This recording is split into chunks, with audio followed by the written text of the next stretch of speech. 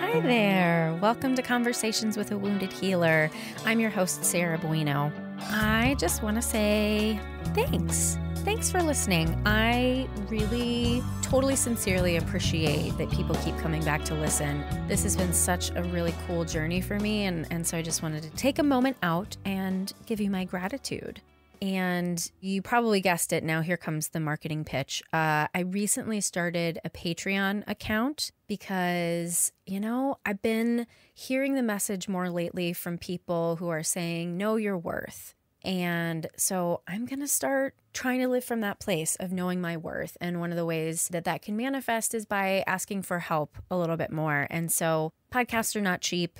I have an amazing, incredible editing team that takes care of all of the hard stuff for me that I would never have been able to figure out how to do, but it's not cheap. And so I could really use your support. So if you visit Patreon, we are at patreon.com slash wounded healer, and that's healer H E A L R because that was what was on Twitter, and I just want to keep them all the same. So kind of lame, but there you have it.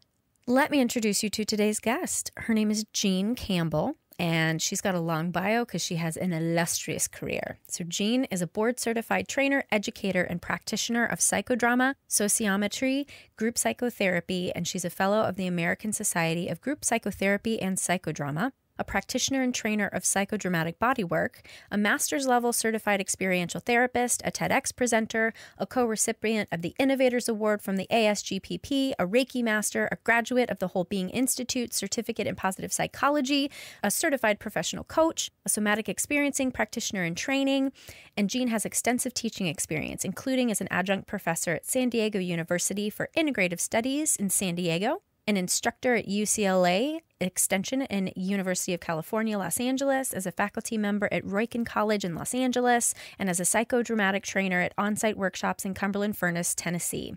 Also, a program facility member of the iCare Interpersonal Communication Relationship Enhancement Program at MD Anderson Cancer Center in Houston, Texas.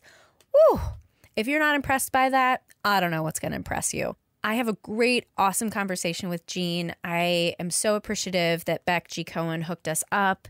And I think that if you're into therapy and all of the things that surround it, you're going to really love this conversation with Jean. So please enjoy.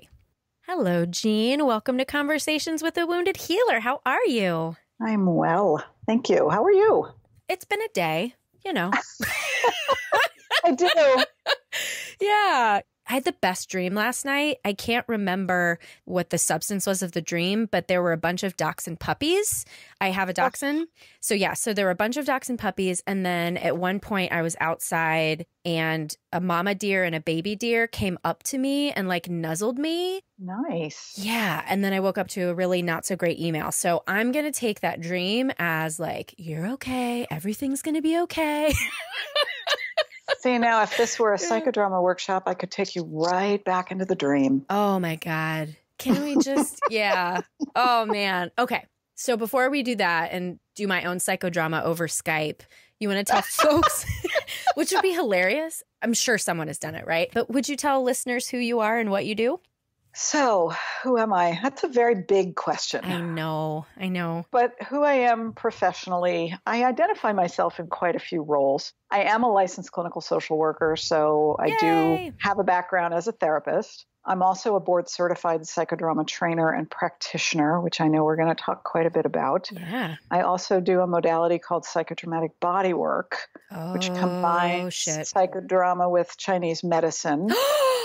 I never knew there was such a thing. Oh, oh yes. God, we have so much to talk about. Yes. My favorite title that I describe myself as is a spiritual midwife.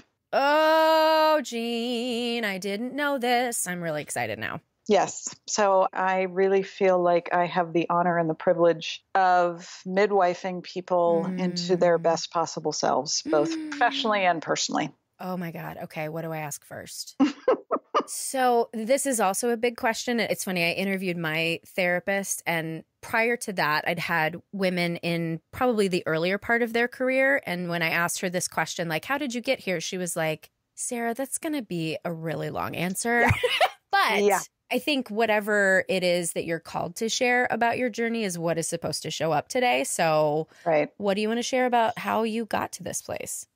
So I got into my own healing journey about 30 years ago. Mm. And as a result of that, what I came to realize is although I was working in corporate America and by every standard in our culture, I was quote unquote successful. Yep. But I was not fulfilled and happy. Mm-hmm. I was making really good money. I was living in New York City. I was clawing my way up to the top. And yeah. I just, in one of my own psychodrama therapy sessions, said to my therapist, Is this it? Like, I don't want to do this mm. for the rest of my mm. life. And so we did a psychodrama exercise where I sat in a series of different chairs that represented different options. Oh shit! Yeah, bring and, it. you know, one, one of them was to stay in the same profession. Ironically, I have been working with drug addicts and alcoholics for decades, and at the time, I was working for a pharmaceutical marketing firm. Wow! But wow. one of the choices was to stay in that industry but find a different job. Another mm-hmm. option was to I don't even remember what they were, but last minute put out a chair and said i could always go back to school mm. and when i and I, mm. felt like that chair was a cop out oh, wow. because i'd been working at that point for 11 years but when i sat in it i mean it sounds like a goldilocks moment but it was just right mm.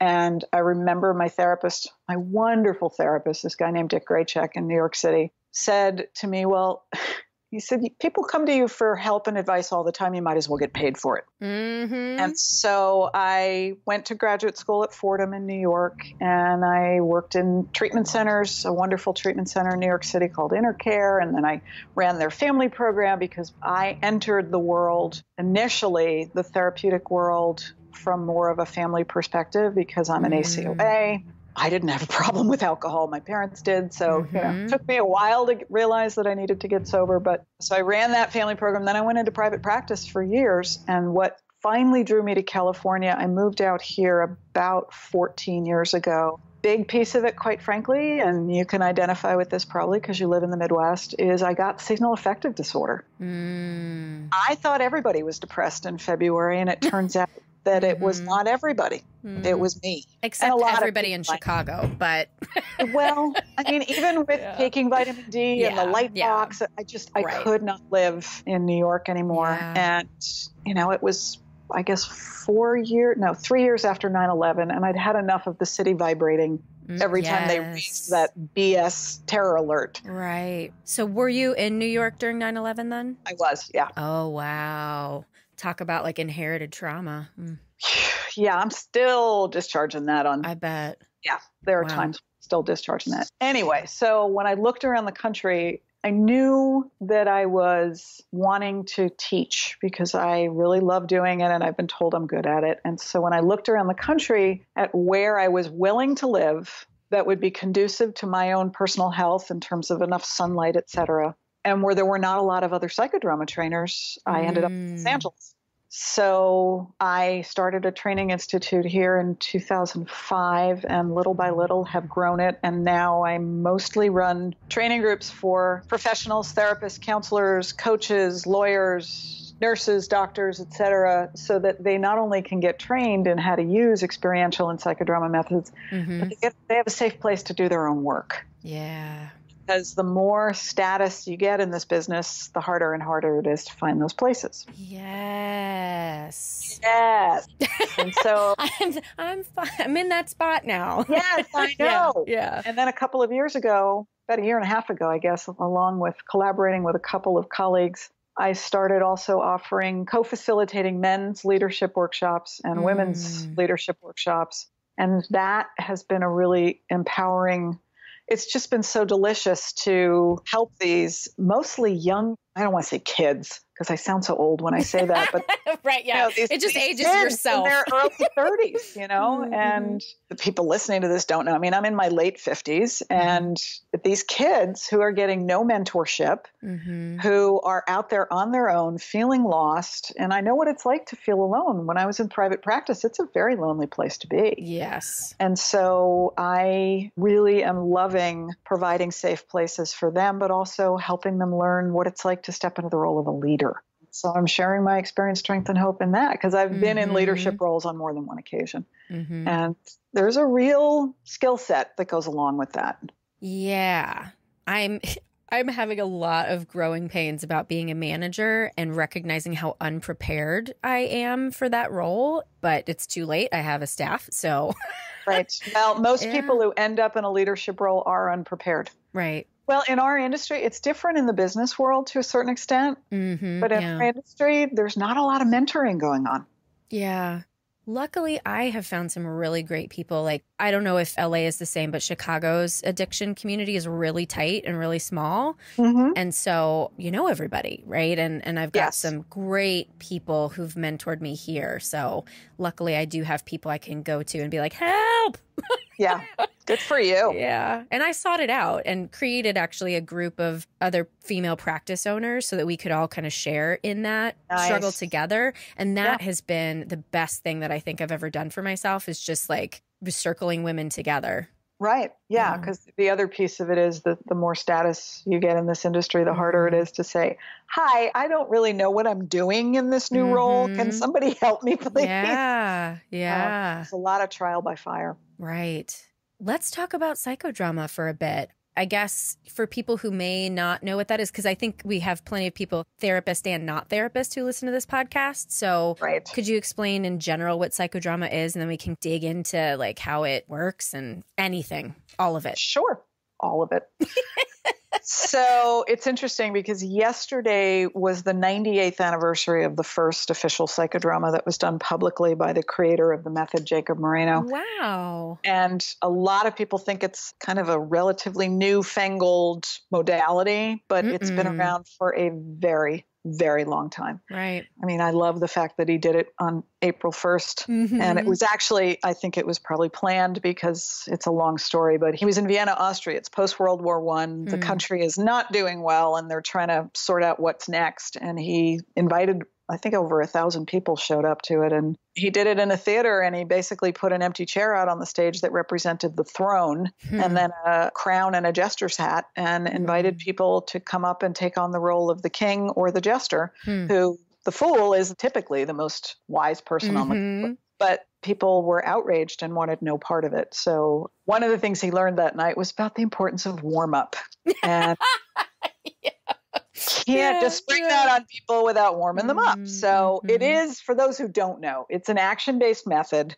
And it's a way that we can explore both our internal and external worlds and move towards change where we need to make change. So mm-hmm. instead of talking about issues, we can explore old patterns. We can explore any thoughts, feelings, behaviors that don't work for us. We can try on new behaviors and explore any of the situations, people, relationships in our lives by taking the way I like to think of it is we can take what's going on in our head and our heart and our body yeah. and, and put it out on a stage. The stage can be just any space in a room. Mm-hmm. And after the warm up, where everybody's connected and feeling safe, you know, a theme emerges, a person mm-hmm. whose piece we're going to do emerges. That person's called the protagonist. The director will then guide the person in exploring through action what it is they would like to have be different in their life. Mm-hmm. And then through the action, the protagonist chooses people to play different roles. So it could be an interpersonal role, like mm-hmm. they could mm-hmm. choose somebody to play their mother, their husband, their father, their sister, their cousin, their sponsor, whoever. But they can also explore interpsychic roles. So, mm-hmm. my fear, my anger, my sadness, mm-hmm. if you're working with people in recovery, my disease, mm-hmm. my higher power. Mm-hmm. I've had really interesting and amazing people show up in psychodramas over the years because you can invite in fictional characters, you can yeah. invite in deities. I mean, I've had everybody from Gandhi to John Lennon to a snuffleupagus show up in my office. Snuffleupagus. And it really taps into the belief that we are all co creating mm-hmm. our experience. It taps into the belief that we are all the therapists of each other. When Moreno mm-hmm. started a psych hospital in 1936 in New York, this was long before medication for psychosis existed. He was the only doctor in the place, but he called everybody in the facility, including the patients, doctor. Mm-hmm he believed we are each other's mm. healers and he entered into their world so if he met a psychotic patient and he introduced himself good morning i'm dr moreno who are you if the patient's response was well my name is jesus mm-hmm. he didn't contradict the person Right. and say, well, you know, according to your chart, it says your name is John Smith. He Mhm. walked right up to the person and shook his hand and said, Oh, Jesus, I've always wanted to meet you. Tell me about your life. Mm. And so the whole concept behind it is that if I'm directing a piece of your work, I'm not guiding you, I'm Mhm. following, Right. following you because innately you have the answers inside of you. And Mhm. my job is to help you find them.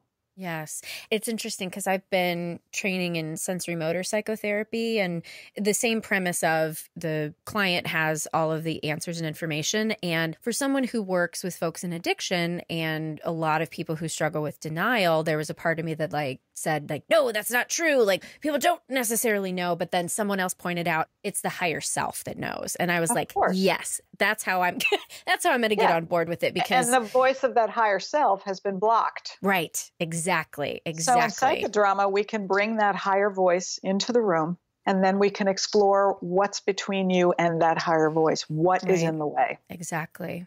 Could be addiction, could be trauma, could be Mhm. mental illness, it could be all kinds of things. Mm-hmm. Let's explore it through action rather than just talking about it. Another beauty of psychodrama is that we get to practice new behavior. That's a key component of it. Yeah. mhm. It's what we call role training. So it's not just about having a big catharsis. It's Right. not just about having the aha insight, which are both very important. It's about, okay, now that I have that, now what? integration. Yeah. And it's Mhm. interesting because we call that role training in psychodrama, we call it a catharsis of integration. Mm. Oh, okay. Yeah. Crazy. Yeah. There's something so magical about group work, period. Amen. And then, you know, when you take it to the next level and tapping into the higher self, the intuition, the subconscious, all of those different things, it's just incredible what can come out. I did a piece, a family constellation, which is different than a psychodrama, but It is. a lot of the same principles of of you know moving through things and it's funny like i intellectually knew this particular pattern in my family i don't i don't want to like out anyone in my family but i knew intellectually a particular pattern but when i saw it played out in front of me i like lost my shit and i was like oh Yep. this is why i am the way i am Right. This is the legacy that's been handed down to me. yeah so talk about like head heart to body absolutely Yeah, it's transformational for people. I'm remembering a million years ago when I worked in New York, I had this parents of substance abusing clients Mm. group that I ran every week. And there was a woman in that group who was a widow. Her husband had died of addiction, and she had four kids, the Mm. oldest of whom was currently abusing substances. And she Mm. kept trying to set these boundaries to tell him if he used, he couldn't stay in the house Mhm. and she kept struggling to hold that boundary. Yeah. And one night she came into group and I did a piece with her where she had different people play her other kids other Mm. than this oldest child who was using substances.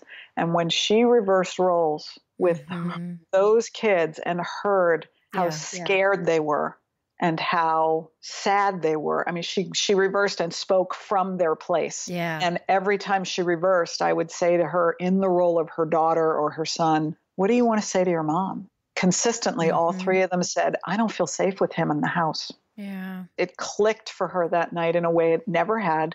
And she Mhm. went home that night and she told him, You either stay clean or you're going to treatment or you're Mhm. living on the street. And she Mhm. stuck to it. He ended up leaving the next day because he didn't stay clean. And uh, he went to treatment a week later. Mm. But it was that psychodrama. She'd been struggling with it for months and months and months. yeah yeah It was only when she stood in the role of her kids and understood the effect that it was having on them that she said, Oh, the decision's made. We're not going to live like this anymore. I was listening, I think it was Radio Lab, and I cannot remember which episode it was, but they were talking about like a virtual reality situation where Freud was there. Mhm. and then you got to be yourself telling Freud your problems, and then you got to be Freud talking back. And so it's this- Basically, psychodrama. yeah, exact same concept. And I was like, oh shit, yeah, that's that's exactly what that is. Yeah. I'm curious for you personally, since you said you were doing psychodrama before you even decided to go back to school and become a therapist, what drew you to that?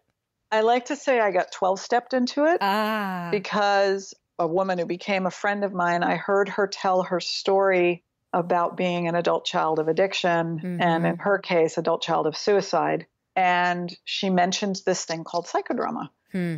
And I went up to her after she finished and I said, What is this thing? I've never heard of it. And she said, Oh, well, I'm going to this workshop on Saturday. Why don't you come with me? Mm. And it was the first time I'd ever been in any kind of therapy. Wow. Ever. And I went and I was hooked. Mm-hmm. I was hooked. I called, it was that therapist I mentioned, Dick Graycheck. He ran the workshop and I was hooked. And I called him. It was a Saturday workshop. I called him the following Monday and said, I want to come see you individually. Mm-hmm. And I saw him for probably about a year. And then he was starting a psychodrama personal growth group. Mm. And I joined that. And then the other rest of it you heard. Eventually, I, Mhm. I ended up joining training groups and doing residential training. And it's a long road to get certified as a psychodramatist. So I did tons and tons of training. And It's a lot.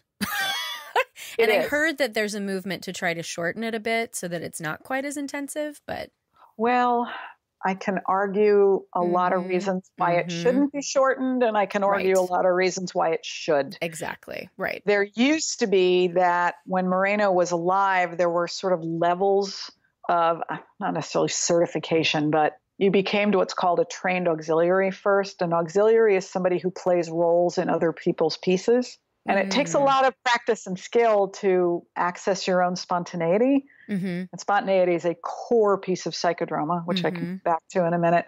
Then you became an assistant director, and then you became a director. Like there were all of these levels below actually getting certified. Yeah. And so there were milestones that people could reach and that would give them a sense of not only achievement, but validity in the Mhm. psychodrama community. And now all we have is you become a certified practitioner, which takes a tremendous amount of work to do. And I mean, you've experienced it firsthand. When you mm-hmm. look at the depth of where we're taking people, there's a lot of reasons why. You know, it looks easier than it is. There's an awful lot of moving parts. There's so many moving parts. Time and time again, when I have a student who directs in group for the first time, once they're done, they say, Oh my God, I had no idea how many things I had to be tracking all at the right. time and stay in my own spontaneity. Right. But it looks seamless when the director knows what they're doing. It does. Yeah, that's what I was so impressed. The woman who does it here in Chicago, Brittany Starr is her name. Mhm. And I'm going to have her on the podcast at some point. Oh. And I was just like, that seemed effortless, but I know that it wasn't. Good Right. job there. Exactly. yeah. Exactly. It's like when you watch something like Cirque du Soleil and they're just Yeah. so smoothly spinning around and doing, you know, all of these twists, all this Mhm. acrobatic stuff. And it's like, yeah, they trained for 12 years to be able to do that. Right. Right. Yeah. It's pretty Oh, crazy. So, can I tell you my experience Please, with the psychodrama? I've been wanting to know. So it's less about the psychodrama and more about like, are you into woo woo? We didn't talk about this. Are you into woo woo shit? I'm, three exits past woo woo. I'm like kooky dookie. Oh, great. Then you're going to love this. So my therapist, she has practiced shamanism and and she and I have talked about like my intuitive gifts and kind of honing that and whatever. And so that's kind of like the backdrop to this story. I've also been super into ghosts lately. Don't know why, but in the psychodrama, I don't want to tell the story of the person whose psychodrama it was, but essentially they were talking to a bunch of people who had passed on and they'd set up a cemetery essentially Mhm. and they were going one by one talking to specific people and as that's happening i'm nearly against a wall but i feel a man standing behind me Mhm. and i kept looking back like it was absolutely like someone was standing right behind me breathing down my neck and Interesting. and as this person got closer to one specific character, it just became stronger. The feeling was stronger and stronger and stronger. Finally, when she got to that character, I heard, not heard, I guess it's more just like a knowing, but inside saying, I am here, I am here. And I was like, Mm. holy shit, oh my God. And like I was doubling that person, so I couldn't like do anything about it. I was doubling the protagonist, so I couldn't really do anything about it. But I was just like, he's here, he's here, he's here, and he wants to talk to you. So I couldn't do anything within the drama with it, but In the sharing, you could though. Yes. And he said there were other things that he said that also tracked with what she was experiencing. And so at Right. the end, she had turned to hug me. And I said, He was here and he wants to let you know, good job, keep it up. And she just wept. And I was like, oh, Yeah. And she's like, I always felt like he was with me. I'm like, Yep. wow. Yeah. So you- you're really stepping into your intuition. yeah, I guess. And I like, of course, I go to my therapist and I'm like, okay, Susan, what do we do now? What does this mean? How do I, how do I do it again? She's like, nope, you just go on about your life. I'm like, God damn it. just stay open. yeah. That's amazing. So you used a term that people don't know, mm-hmm. doubling. Yes, yes. Thank you. So the protagonist is the main character, and the double is essentially their double, for lack of a better term. And the way that we did it is, you know, if the protagonist would say something, but the double feels like there's something unsaid, that we would be the one to say it. And then also the double could be if the protagonist is having kind of internal psychic questions like, you know, this part of me wants to do this and this part of me wants to do that, then the double becomes this part that wants to do that. And you switch roles essentially with yourself. Was that? It's pretty good. Okay. Thanks. For a one timer. Thanks. Not bad. So structurally, the double stands behind the mm-hmm. protagonist. Yes. Mm-hmm. And the way I like to think of it is that it's the inside voice that often doesn't get spoken. Mm, yes. So yes. a lot of times, and different people direct differently. I was trained so that anybody with permission from the director can get up and double. Mm, okay. They can step in. We call it hit and run doubling. They can step in mm. and say something mm. that they have a hypothesis mm-hmm. that the protagonist might mm-hmm. be feeling, and then the protagonist gets to correct it or change right. it yes. or adapt it or embroider upon it if if right. it's right but a lot of times when we double we're helping the protagonist to say what may be deep inside that they're not as in touch with mm-hmm. or sometimes it can help them to have a concise way of saying something or if we're practicing new behavior mm-hmm. it's a way to mm-hmm. help them find language there's lots of different uses for it but it's one of the most profound pieces of psychodrama that mm-hmm. Moreno created and I mean, I use it all the time. And the beauty of it is, particularly if you're working in a group setting, and especially if it's in a residential setting, the group knows each other better than I'll ever know them. Right. And so right. they get to double each other. Yep. And help say what's not being said. Mm-hmm. It's an extraordinary tool to yes. use. I've often thought that I wanted to go into business as a personal double, walking around behind people all day oh long. Oh my God, can we do it? And just saying what they really want to say that they're not saying. That sounds like a great movie. I cracked up when I think of Key and Peele when they had uh, what was his name? Oh Luther. yeah, yeah, yeah, uh, yeah, Angry Obama or something like that. For the angry something. Yeah. yeah. But it's basically that's a double. Yeah. Exactly. So it was his anger double so that every time, mm-hmm. and I always get them confused. Peele is the shorter one. So he played president, and then yes. Key would stand behind him and speak from an angry place right. as Obama because Obama was so poised. Mm-hmm. I will never forget when President Obama spoke at the correspondence dinner. Yes, and they did it. That was so good. and I was like, there's Luther. It's his anger double. Yeah. It was fabulous. But yeah, that's yeah. a double. Yeah. That's a perfect pop culture description. Yep. So, I want to ask this question under the umbrella of spiritual midwife. Are you a healer? You know, it's funny. I struggle with that word because mm-hmm. I don't believe people are broken.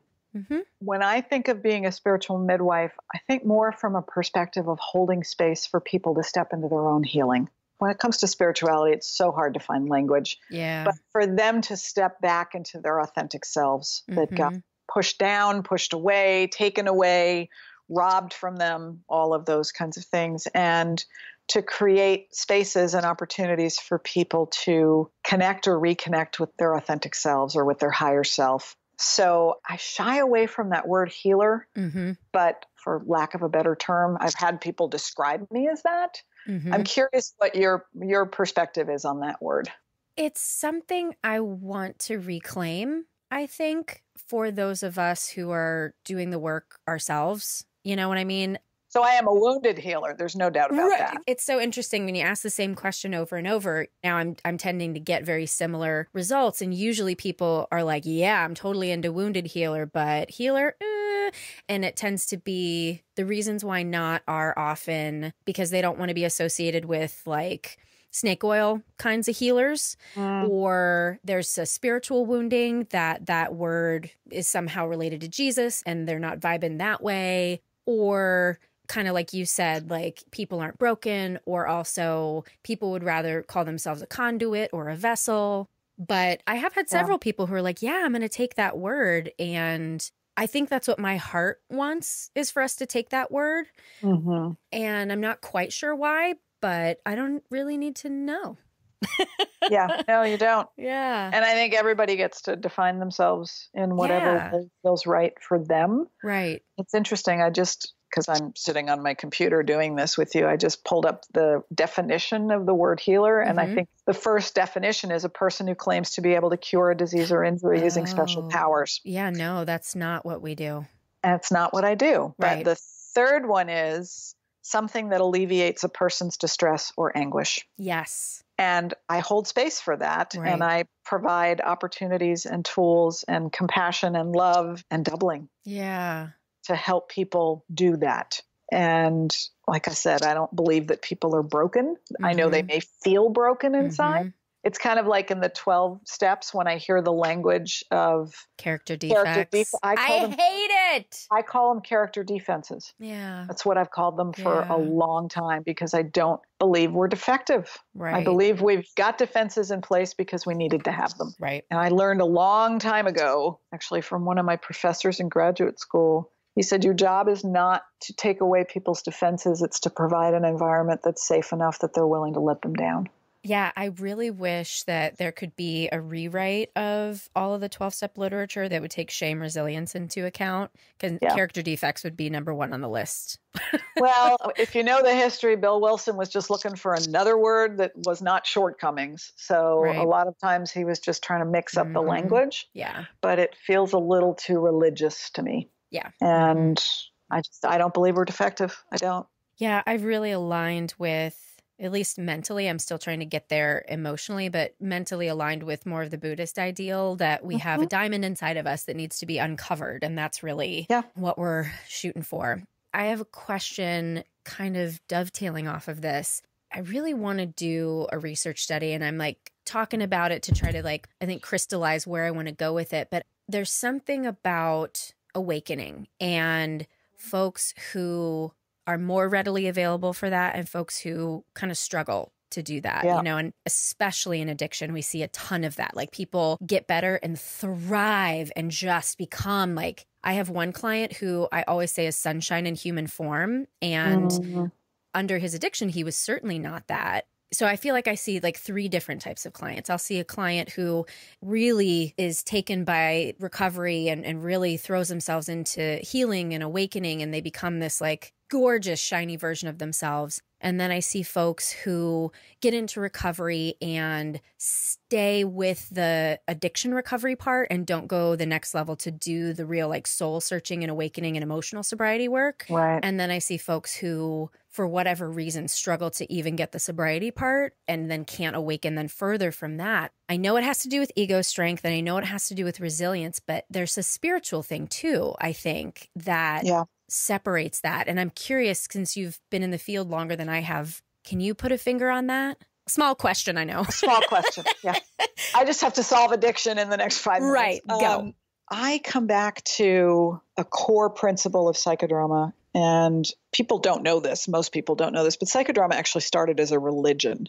What? Yeah, Moreno was in yeshiva. Oh, that's and, crazy. Yeah, and he and his classmate Chaim Kellmer came up with this religion of the encounter, and their whole concept was that if we have the capacity to reverse roles with other people, then there's no need for mm. conflict. If we can understand the world from other people's perspectives, we can agree to disagree, right? But we don't have to kill each other.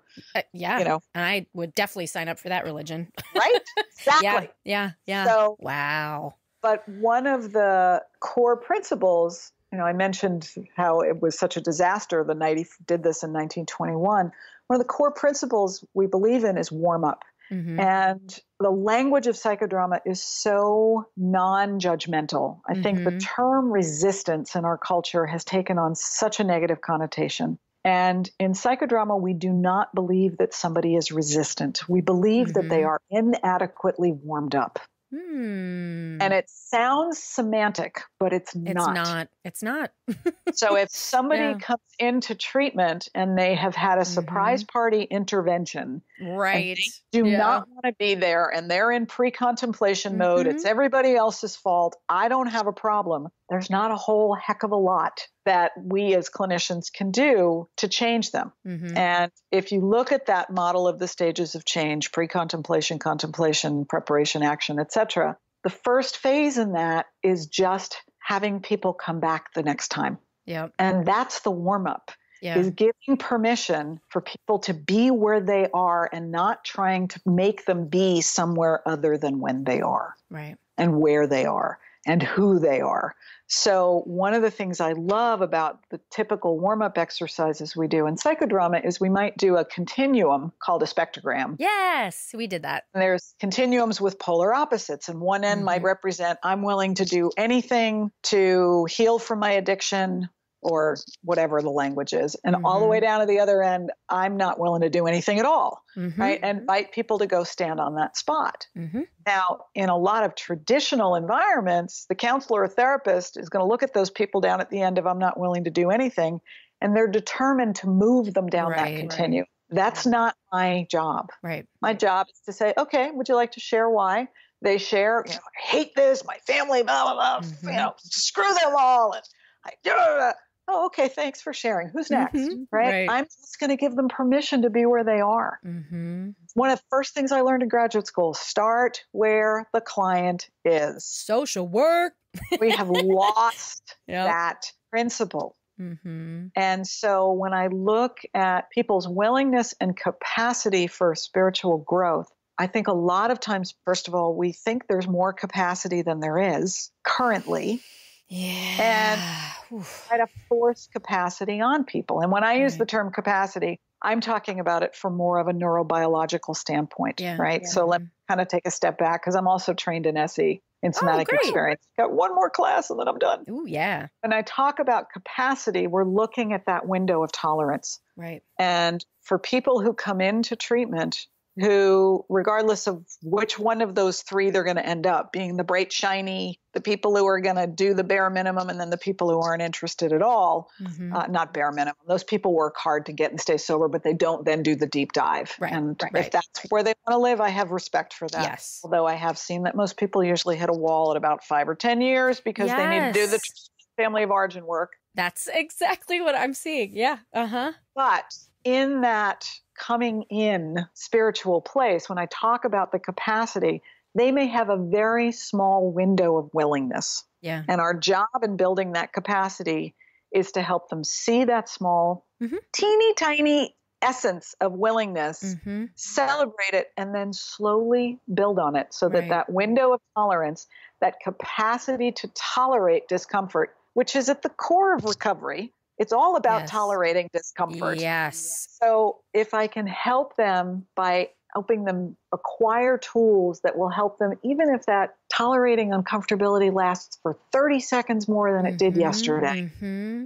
that's capacity that we need to build. Yeah. And the scary part, you know, when I first started working in this industry, we didn't have an opiate epidemic. Mm-hmm. If people went out and drank again, right, the chances of coming back were pretty good. Right. Right. Right. They went and used cocaine. Their mm-hmm. chances most part, not all the time, obviously. People right, get into horrible car accidents and there's suicides and I mean it's devastating.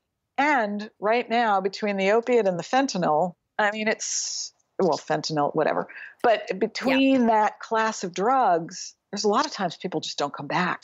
And so I am not a fan of pushing people down that continuum of willingness and capacity. And I'm not a fan of pushing them. I'm a, a fan mm-hmm. of inviting them. I think about being a little further ahead on the path with them with a flashlight saying, come on, let's go in this direction. I know it's really dark, right?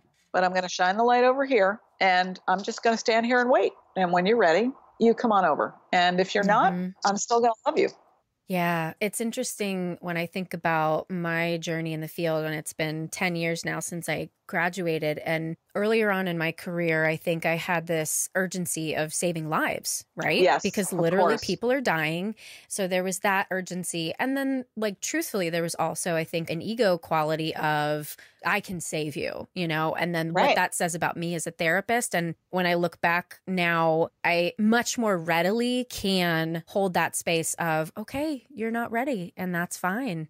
And I'll be here. And I've, I've actually found I am able to move people on the continuum more often when I just right. have that, that open exactly open when I awareness. just hold the space yeah, yeah. because I am not their higher power, right? And I can't he- that again. It's that word heal.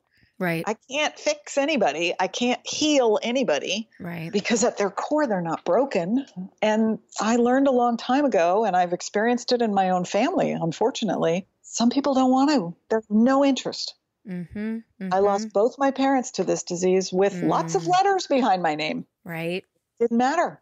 I mean, I tried this, I tried that, you know, and mm-hmm. I just, it's like I've often said, particularly to family members, as painful as it is, you cannot deny somebody else the dignity of their own process. Right. It's theirs. Yep. And since I've started my own 12 step program, it's so funny. I resisted Al Anon for so long because I was like, I know what I'm doing. and a woman that I, I see for supervision and consultation was like, okay, it's time. You need to do this. And it's changed my clinical work so much because I'm, I'm getting it on both ends, you know, from the clinical perspective and from the personal perspective that I cannot control anyone but myself. And sometimes not even then. yeah. Well, when I supervised people, and I actually taught at UCLA in their addiction studies program mm. for about six mm. years, I taught the family counseling class there mm-hmm. until I moved further south and it was too much of a commute. But I would tell the students in the first class probably a good idea for you to be going to Al Anon meetings on a regular mm-hmm. basis if you're going to be mm-hmm. working in this field, especially yeah. if you're going to be working with families. Right. Because your own stuff's going to come up. I guarantee yeah. it. Yeah. And so many people say, you know, I I don't come from addiction. It's like, yeah, let's dive into that a little mm-hmm. bit more mm-hmm. because mm-hmm. a lot of times people think that there's no addiction in their family system, mm-hmm. but if mm-hmm. you look at workaholism and you yes. look at spending and eating you look disorders, at codependency right. and eating disorders and mm-hmm. there's a lot more of it there than you think. Right. Let's do a genogram class. exactly. Yeah. And two, I found because my parents were not substance abusers, but my mom's dad definitely was. And I'm sort of halfway convinced that my, my dad's dad was too, and how that affected my mom being an ACOA, and mm-hmm. then the mm-hmm. codependency and the control and the victim right. martyr stuff that kind of went down the line. When I went to my first meeting, I was like, oh, oh, you think that too? Oh, okay. Yeah. this is where I belong.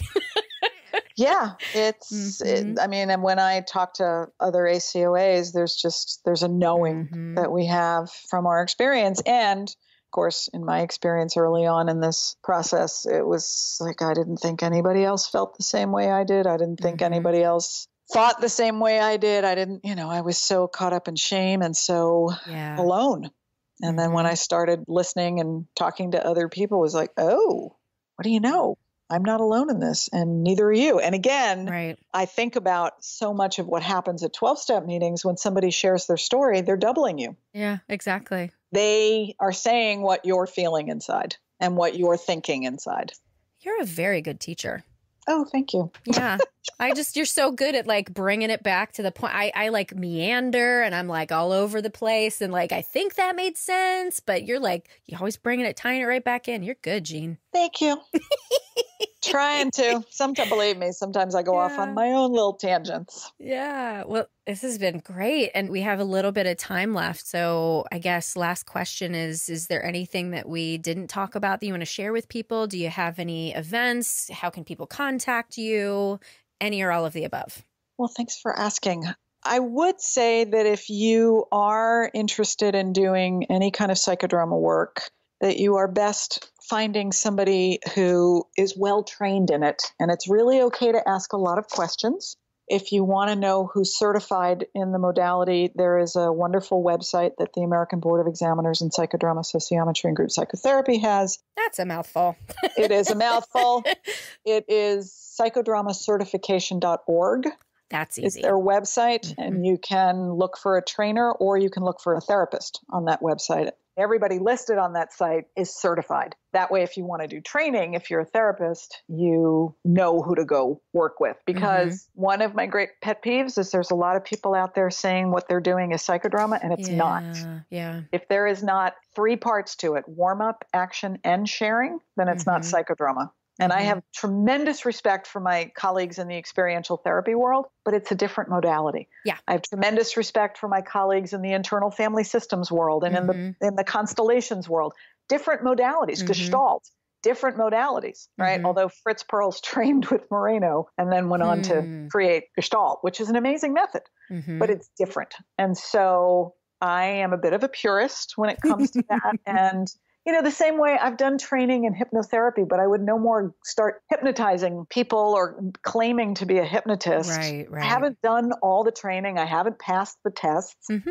I have no right mm-hmm. to be calling myself that. Right. For those people who are interested in getting certified in experiential therapy, there's they just changed the name. It used to be the American Society of Experiential Therapists and Mark Pimsler has just started this international. I'll look it up while we're on the phone. All right. In case people are interested in that, because yeah. they have a, they have a website and you can find trainers in that as well. Great. And the other thing is there is a wonderful conference once a year, a national conference on psychodrama. It's coming up pretty quickly. It's coming to Chicago next year, I believe. It is, I think. Will you be here? Probably not. No. My mission has been to carry psychodrama to communities that are not usually mm. getting it. That's rad. Yeah, I've been part of that organization, the American Society of Group Psychotherapy and Psychodrama, for a very long time. And I have just found that I am drawn to be doing more presenting at conferences mm-hmm. with uh, exposing people who don't have exposure mm. to psychodrama or sociometry. And sociometry is a whole thing we didn't even talk a lot about, mm-hmm. but wonderful way to not only warm up a group, it's a way to suss out transferences, it's a way to build mm. connection and safety. It's a way to, the way I like to think of it, it's like crocheting this net of safety for a group to mm. be able mm. to step into work. Mm. And you don't have to be doing psychodrama to do sociometry. I use sociometry in all kinds of settings. I've done lots of team buildings over the years and business settings and in it's such a powerful modality and it's one mm. part of psychodrama. So anyway. So yeah, all that stuff. all that stuff. And the only other thing I would say is I do offer ongoing psychodrama training, mostly in California at this point, mm-hmm. pretty much up and down the coast of Southern California. And I am doing leadership workshops for both men, co leading those, and with women, mm. and really digging that. And I love teaching, and a lot of places have reached out to me to come to them and do training with their staff. And it's a lot of fun, too. Yeah. And the other thing about psychodrama is it, it's not all like on the floor in a fetal position with right. snot pouring down your face. A lot mm-hmm. of times people think, oh my God, I don't want to do that. I mean, I've got a TED talk on my website, which is theactioninstitute.com. Awesome. And I did a TEDx talk, God, quite a few years ago now, where we basically did a psychodrama demonstration. cool.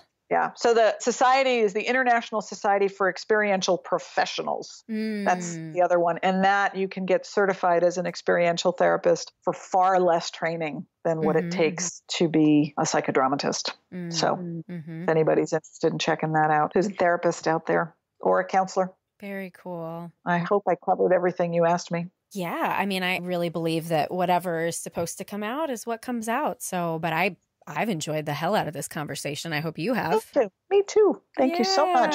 Absolutely. A little shout out to our friend Beck G. Cohen. Who yeah. What? What? What? What? Love me some Beck G. Cohen. Yeah, for sure. I'll have to make sure, like, okay, you have to listen to Jean's interview, and he'll have to listen to the whole thing before he gets to that point.